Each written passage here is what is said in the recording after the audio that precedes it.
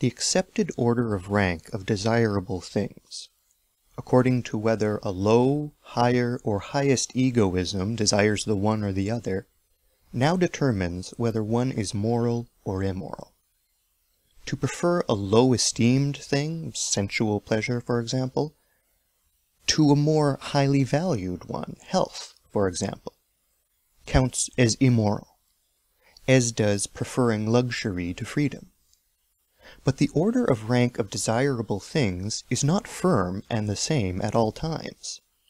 If someone prefers revenge to justice, according to the standard of an earlier culture he is moral, according to that of ours, immoral.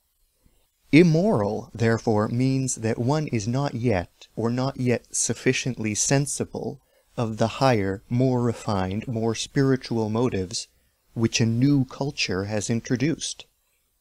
It designates one who is retarded, has remained behind, though always it is only a matter of degree. The order of rank of desirable things itself is not erected or altered in accordance with moral considerations.